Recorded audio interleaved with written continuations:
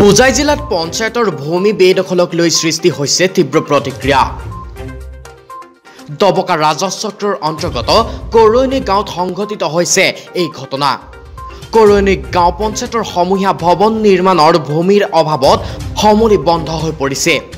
যাৰ ফলত পঞ্চায়তটোৰ ৰাইজৰ মাজত তীব্ৰ প্ৰতিক্ৰিয়া সৃষ্টি কৰিছে। পঞ্চায়তৰ সভাপতি বদৰুল ইছলামে উত্থাপন কৰা অভিযোগ অনুসৰি কৰৈনী গাঁৱৰ তিনিশ একত্ৰিছ নম্বৰ গৰাবাদ শ্ৰেণীৰ এক বিঘা দুই কঠা দহ লোচাপ ভূমি পঞ্চায়তৰ নামত চিঠাভুক্ত হৈ আছে। মাত্ৰ পঁয়ত্ৰিছ লোচা ভূমিত পঞ্চায়ত কাৰ্যালয় স্থাপন হোৱাৰ বিপৰীতে বাকী অংশ বেদখলকাৰীয়ে ব্যৱসায় প্ৰতিষ্ঠান নিৰ্মাণেৰে বেদখল কৰি ৰাখিছে। জিলা প্ৰশাসনে বেদখলকাৰীৰ বিৰুদ্ধে তিনিবাৰ জাননী জাৰি কৰাৰ পিছতো বেদখল মুক্ত নোহোৱাৰ অভিযোগ উত্থাপিত হৈছে। সমূহীয়া ভৱন নিৰ্মাণ কৰিবলৈ ভূমিৰ অভাৱ হোৱাৰ এই আঁচনি ৰূপায়ণত বাধাৰ সৃষ্টি হৈছে। অন্যফালে ভূমাফিয়াৰ বিৰুদ্ধে অসম চৰকাৰৰ মুখ্য সচিব হোজাই জিলাৰ উপায়ুক্ত দবকা ৰাজচক্ৰৰ বিষয়াৰ ওচৰত পঞ্চায়ত সভাপতি বদৰুল ইছলাম আৰু সচিব ইয়াছিন আলীয়ে দাখিল কৰিছে অভিযোগ। উল্লেখযোগ্য যে যোৱা একৈছ জানুৱাৰীত দবকা ৰাজচক্ৰ বিষয়াই P D A two sixty oblique two zero' one eight oblique two three নম্বৰৰ D R C four oblique two zero' one six oblique nine eight zero' যোগে জাননীৰ উচ্ছেদৰ নিৰ্দেশ দিয়াৰ পিছতো জিলা প্ৰশাসনে গুৰুত্ব নিদিয়াৰ অভিযোগ উঠিছে। ডেৰ বিঘা মাটি চিটাভুক্ত হৈ আছে। এই চি- ডেৰ বিঘা মাটি বৰ্তমানে আমাৰ অফিচখন থাৰ্টি ফাইভ দিছা মাটিত আছে। বাকী মাটি বেদখল হৈ আছে।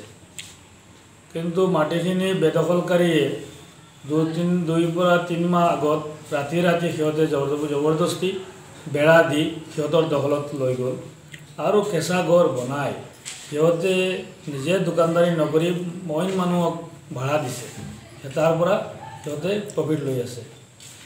কিন্তু এই সংক্ৰান্তত আমি আমাৰ ডি চি মহোদয়ৰ ওচৰত আবেদন কৰিছিলোঁ।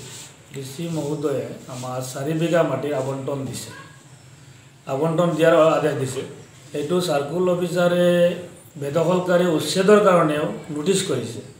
নোটিছ কৰা সত্ত্বেও আমি এই বেদখল মুক্ত হোৱা নাই। এইটোৱে ৰহস্যজনক। কিন্তু এই বেদখলকাৰী বেদখল মুক্ত হোৱা নোহোৱাৰ কাৰণে আমি বহুত স্কিমৰ পৰা বঞ্চিত হৈ আছোঁ। বৰ্তমানে আমাৰ কমিউনিটি হল এখন বাউণ্ডাৰী ৱাল বৰ্তমানে আমাৰ হোল্ডত আছে। কোনো আমি পইচাখিনি ইউটিলাইজ কৰিব পৰা নাই।